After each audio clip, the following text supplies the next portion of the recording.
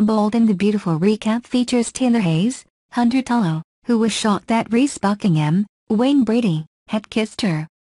Reese apologized for acting so impulsively but admitted that he would like to see more of her. Taylor said that she was thinking of leaving LA, but Reese asked her to reconsider her decision. Steffy Forrester asked Taylor Hayes to move in Taylor returned to the Cliff House where she told Steffy that she ran into Reese at the hospital.